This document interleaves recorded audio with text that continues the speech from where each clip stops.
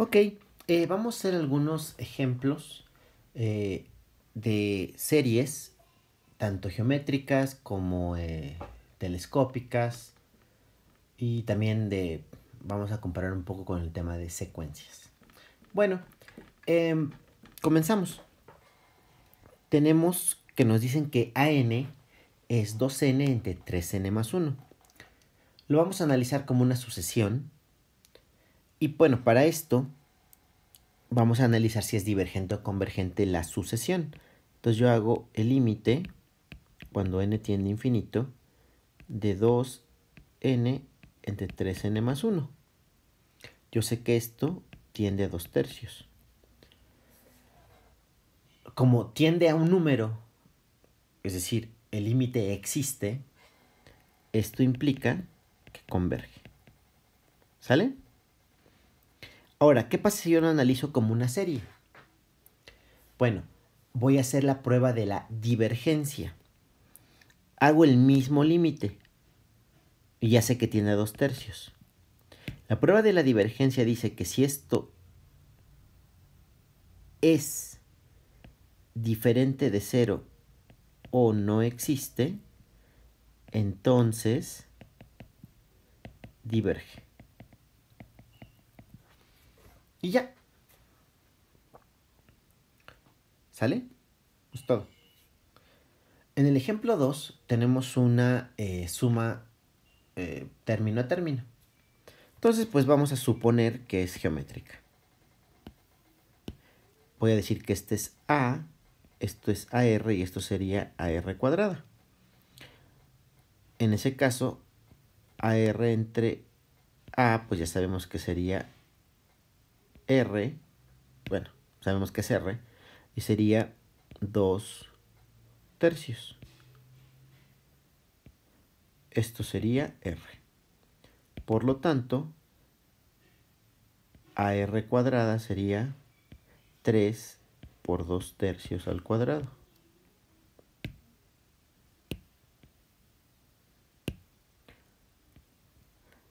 Si yo desarrollo esto me queda 3, 2 al cuadrado, entre 3 al cuadrado, o 2 al cuadrado, entre 3. Si ustedes se fijan, este término es igual a ese término. Por lo tanto, sí es geométrica. Ahora, necesito checar si el valor absoluto de R, o sea, hace el valor absoluto de 2 tercios es menor a 1, y sí, por lo tanto converge. Y entonces puedo sacar la suma. La suma es igual a A entre 1 menos R, que es 3 entre 1 tercio, mejor conocido como 9. Entonces converge y converge a 9. Ejemplo 3. Me dicen, eso que está ahí, esa sumatoria, converge o diverge, ¿no? Bueno, pues vamos a desarrollarla. Entonces desarrollamos con n igual a 0. Em, sería 1 entre algo, algo a la 0 que no sea 0 es 1, ¿verdad? más 1 entre 2 a la 1 medio, ¿no? Por el exponente de la 1 medio siempre está, que es la raíz de 2. Por 1 porque n es 1.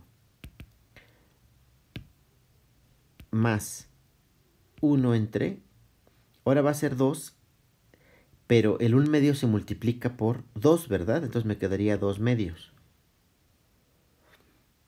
Más 1 entre 2 a la 3 medios. Y así sucesivamente. ¿Ok? Bueno, entonces este sería A, AR y AR cuadrada. Entonces, AR entre A, es decir, eso, es decir, sería 1 entre 2 a la 1 medio y entre 1 pues se queda igual, ¿no? Esto va a ser R. Veamos quién sería AR cuadrada. O sea, ese sería 1 por 1 entre 2 a la 1 medio al cuadrado. que es 1 entre 2 a la 2 medios. Y si nos fijamos, este término es igual a este término, por lo tanto sí es geométrica. Revisamos si el valor absoluto de r, que es 1 entre raíz de 2, es menor a 1. Y pues 1 entre raíz de 2, ¿cuánto será la raíz de 2? La raíz de 2 es 1.4, ¿no? Bueno, 1.4 no sé qué. Definitivamente 1 entre 1.40 y cacho sí es menor a 1. Por lo tanto, converge. Y entonces la suma es A entre 1 menos R. Y eso se puede simplificar y hacerle muchas cosas así, este, como para racionalizarlo y no sé qué tanto. Así está bien el resultado. Si quieren super simplificarlo y verse así como muy precisos, también lo pueden escribir así, pero ya el, este de acá está bien, ¿eh? Lo demás ya es como perder el tiempo. Bueno, para mí. Ok, veamos qué más. El ejemplo 4. Tenemos eso que está ahí, esa sumatoria, 2 entre n cuadrada menos 1. Si ustedes intentan eh, hacer la, eh, la sustitución, intentan hacer, hacer la prueba de que sea geométrica, les va a dar que no es geométrica, ¿sale? Entonces, pues solo les quedaría probar que sea telescópica. y para eso habría que hacer la expansión en fracciones parciales.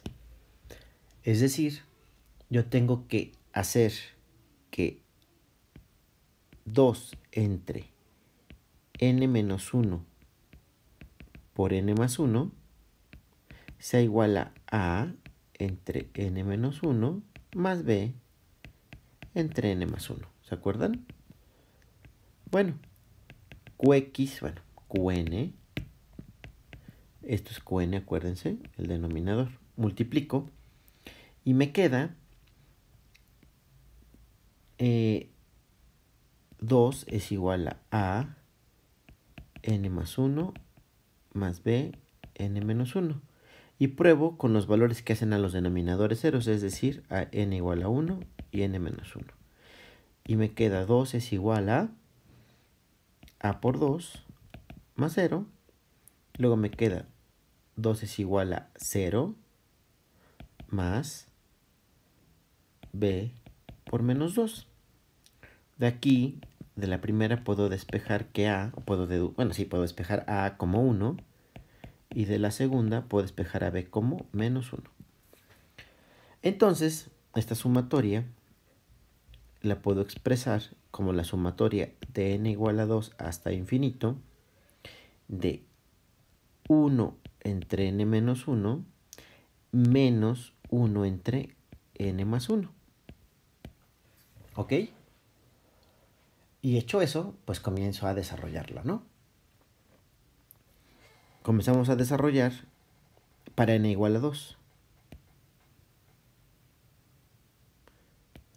Para n igual a 2 sería 1 entre 1 menos 1 entre 3. Siguiente término, n igual a 3. 1 entre 2 menos 1 entre 4 más n igual a 4. 1 entre 3 menos 1 entre 5. ¿Sí? Vamos a hacer otro más n igual a 5. 1 entre 4 menos 1 entre 6. Y le vamos a seguir, bueno, ya no le vamos a seguir más bien. Vamos a hacer, vamos a escribir el último término aquí abajo. Bueno, no el último, el, eh, porque es infinito, ¿verdad? Vamos a escribir este término, el AN, digamos, y el anterior, ¿Cuál va antes? Pues hay que restarle menos 1 a cada uno de ellos, ¿no? Cuando aparece n me refiero. Entonces este sería 1 entre n menos 2 menos 1 entre n, ¿no?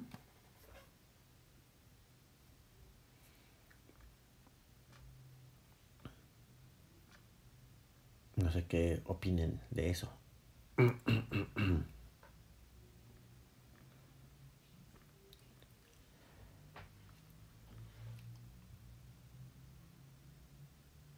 hecho, vamos a inclusive escribir otro más. El anterior a este. Sería 1 entre n menos 3. Resto 1 a los denominadores, a donde está la n. Menos 1 entre n menos 1. Y obviamente aquí se, seguía la suma, venía de acá arriba. Continúa aquí abajo. ¿Sale? Bueno, todo esto lo hice porque quiero ver cómo se cancela. Fíjense que aquí está el un tercio con el un tercio. Luego, aquí está el un cuarto con el un cuarto. ¿Sí?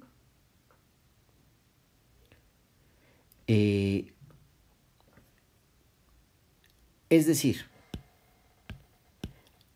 es el segundo, del, dentro de un paréntesis, dejo pasar un término, bueno, una expand, digamos, un, sí, un valor de n completo, y luego me voy hasta el primero del que sigue. Lo mismo pasa aquí, miren. El último dejo pasar uno completo y el primero del que sigue. ¿Sí? Siguiendo esto que acabo de decirles,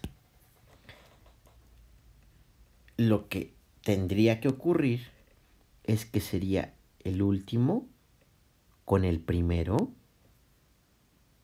¿Sí?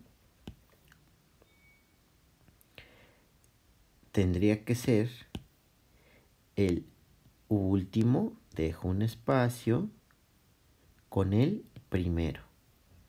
¿Sale?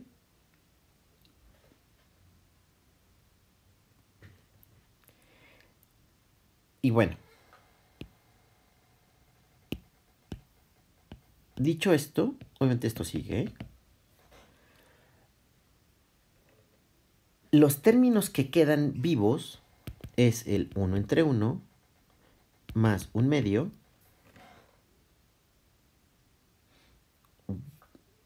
eh, tengan en cuenta que el un sexto de aquí se va a cancelar, se va a cancelar con alguno de por acá, ¿eh? me queda, este, pero este, este sí me queda vivo. Menos 1 entre n, menos 1 entre n, más 1.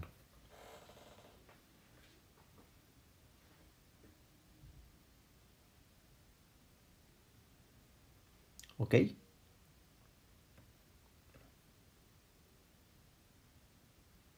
Entonces, eh,